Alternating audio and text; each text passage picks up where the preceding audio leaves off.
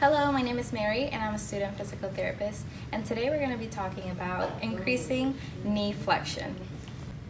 This is Ariana and she's going to be my patient. So first we're going to be talking about the agonist muscles that actually help the motion. So go ahead and face the wall for me. So those muscles are the biceps femoris, the semitendinosus, and then the semimembranosus, which all together are called the hamstring muscles. Now the antagonist muscles are actually the quadriceps muscle. So that includes the rectus femoris muscle and all three vastus. So medialis, intermedius, right under the rectus femoris, and then vastus lateralis. For knee flexion, passive range of motion, the patient is in prone. Remind the patient you will be doing all of the movement. Also ensure that the patient is close to you so you can maintain proper body mechanics throughout the technique. With both hands, grasp just above the ankle and begin passively moving into knee flexion. Make sure to move your whole body by weight shifting in the legs. Move the leg through pain-free range of motion to the point of resistance. To increase knee flexion, do a posterior glide of the tibia on femur. The patient position is supine with the hip and knee flexed. You can stabilize the foot by sitting on it, but make sure to let the patient know first. Grab the tibia while keeping the elbows extended, and use your body weight to lean while pushing the tibia posteriorly. This is the oscillatory method. You can do oscillations for 2 minutes, bouts of 30 seconds, and then rest for 3 to 4 cycles. The grade is dependent on the patient need.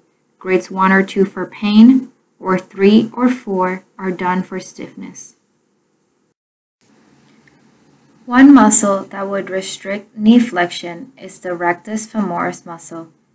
In order to stretch this muscle, have the patient be in a prone position. Place a towel under the thigh to add the hip component of the rectus femoris muscle. For a proper stretch, stabilization is key. So place your forearm on the posterior pelvis to prevent anterior tilting. Use the other arm to grab just above the ankle and stretch into knee flexion. You want to hold the stretch for 30 to 60 seconds.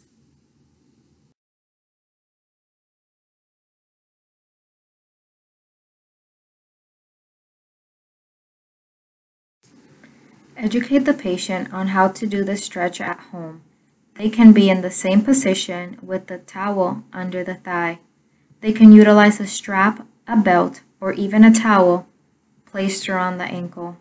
Remind the patient to hold the stretch while keeping the lumbar spine and pelvis in a neutral position. Also, educate the patient on the principles of frequency, intensity, time, and type of stretch.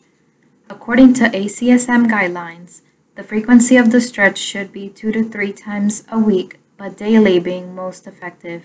For intensity, the stretch should be to the point of tightness but no pain.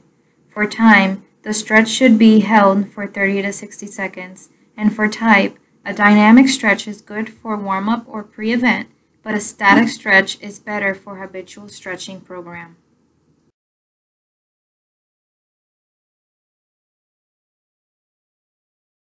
Exercise for knee flexion is to strengthen the hamstring muscles by doing a TheraBand leg curl.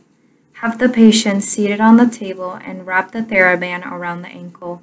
Ensure you are holding the TheraBand at a perpendicular angle and prompt the patient to bend the knee as far as they can. Provide the patient with the proper color TheraBand to take home and educate them how to do this exercise at home.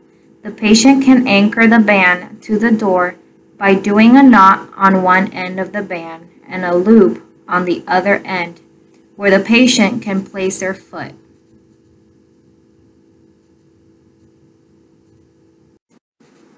Have the patient stand up straight facing the anchor point. Then have them bend the knee to about 90 degrees.